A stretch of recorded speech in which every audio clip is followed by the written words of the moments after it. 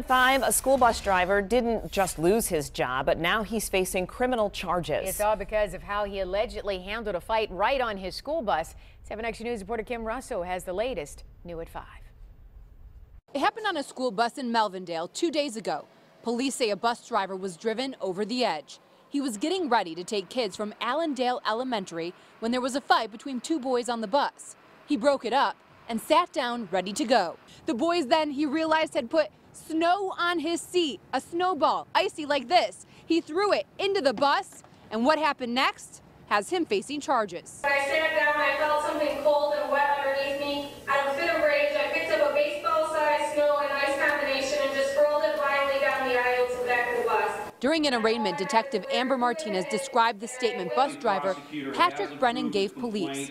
The icy snowball hit a 10-year-old girl, cutting her above the eye. Her parents were outraged. Now the man who for seven years drove kids to and from school is out of a job and charged with assault and child abuse. You're also charged with committing child abuse in the fourth degree. The elements for that charge are that you did cause physical harm to that named child by throwing snow and ice at her and striking her in the head. Do you understand that charge?